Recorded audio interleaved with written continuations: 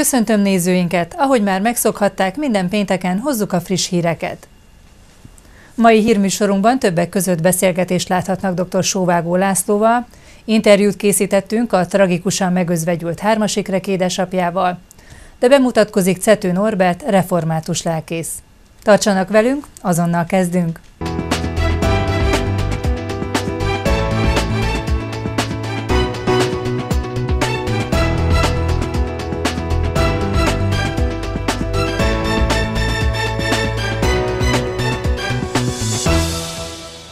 Mai adásunkat is rövid híreinkkel kezdjük.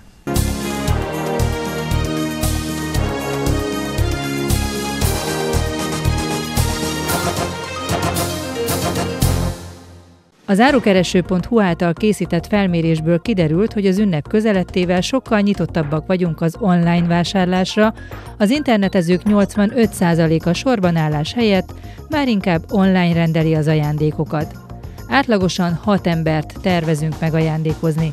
A költségkeret pedig 14%-kal több, mint tavaly, várhatóan 35 ezer forint körül alakul. A karácsonyi időszak kihagyhatatlan online akciói egyre nagyobb csábítást jelentenek még azok számára is, akik az év többi időszakában szívesebben járnak személyesen vásárolni.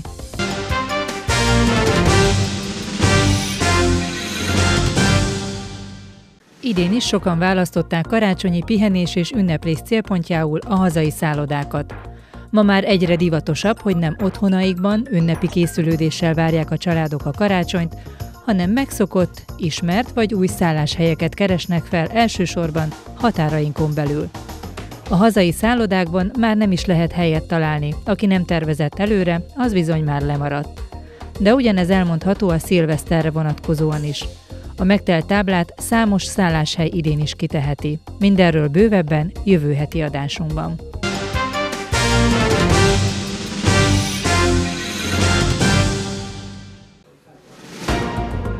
Elfogadott költségvetése van városunknak. Csütörtök délután 23 napirendi pontot tárgyaltak meg a képviselők. Többek között elfogadták a TDM tevékenységéről szóló előterjesztést, jóvá hagyták a belső ellenőrzés 2018-as munkatervét. A város 2018-as költségvetését is nagy többséggel elfogadták a képviselők. Pontosítva ezt a szavazást láthattuk, hogy kilencen igent nyomtak. Egy képviselő tartózkodott, ketten pedig még a szavazó gombhoz sem mertek hozzányúlni.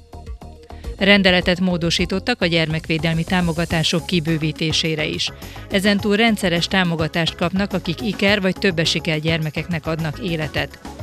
Városunkba is létesítenek két elektromos töltőállomást az elektromos járművel érkezők számára.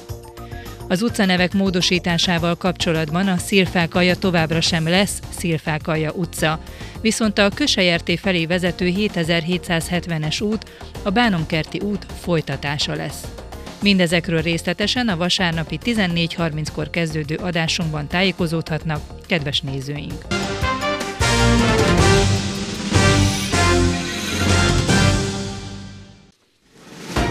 Egy személygépkocsi csapódott az árokban Hajdúszovát határába december 18-án kora este.